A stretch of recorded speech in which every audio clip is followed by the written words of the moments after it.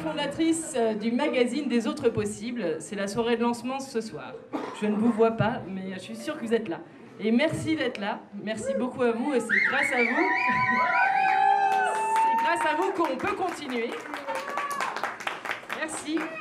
Merci. Euh, trois mots euh, sur le magazine des autres possibles. C'est un nouveau mensuel, une nouvelle presse locale qui se lance ici sur Nantes et le département pour parler des solutions en face des problèmes de société. Euh, on va regarder comment les gens s'activent pour faire autrement. Il y en a plein et on n'en parle pas assez. Donc euh, tous les mois, on pourra retrouver cette petite carte qui se déplie pour parler de tout ça. Et en plus, il y a un artiste invité chaque mois pour que ça soit beau et euh, que ce soit un poster que vous collectionnez pour vos toilettes. Et c'est chouette. Je m'appelle Marie et j'ai cofondé le MAP avec Jeanne et Camille, que tu as vu tout à l'heure. Le MAP, c'est un format un peu particulier, c'est un format type carte routière, c'est un dépliant en fait. Donc c'est un magazine qui se déplie. Euh, D'un côté, on a du texte, on a le dossier texte chaque mois. Et de l'autre côté, on a la carte, une carte euh, du territoire qui est dessinée par un artiste local, euh, tous les mois un artiste différent. Donc le premier numéro du MAP, il parle de l'alimentation locale, il est dédié aux alternatives à la grande distribution. L'idée, c'était de voir ce qui se passait localement pour manger mieux, local. On a été voir différentes alternatives, comme par exemple les magasins de producteurs, les gaz, groupement d'achat, services, épicerie. On a également euh, été voir les gens qui montent le projet Scopelli, qui est un projet de coopérative alimentaire sur Nantes, un supermarché coopératif et participatif.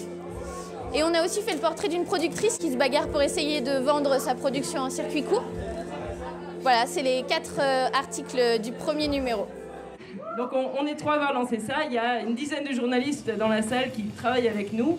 Il y a aussi un développeur web qui fait de la batterie ce soir. Il y a aussi un designer, Antoine Taillandier, qui a fait euh, en sorte qu'on puisse distribuer ce map sur un petit présentoir en bois que vous pouvez voir là-bas sur le stand. Si vous avez des questions, on en parlera plus tard. Bref, revenons à cette soirée. Il y a des robots artistes qui sont en train de vous montrer. Ils viennent d'arriver de Rennes euh, et euh, ils vont faire des dessins toute la soirée. Il y a une table ping-pong interactive. Vous pouvez faire des matchs toute la soirée. Pendant les concerts, peut-être pas, ça fait ploc-ploc, donc ça dérange les musiciens. Cette table est un peu magique. C'est euh, Passage à niveau, le collectif euh, qui s'occupe de ça. IDLV pour le robot dessinateur. Les copines qui ont fait de la cuisine, les copines en bourg, euh, à base de récupération, mais comme des chefs cuistots. Vous avez peut-être loupé le buffet, mais il était super bon.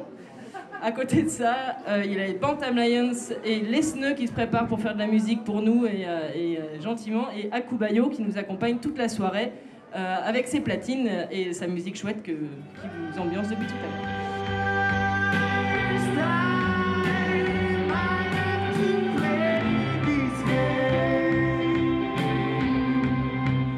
On a une subvention de la ville, du département et de la DRAC.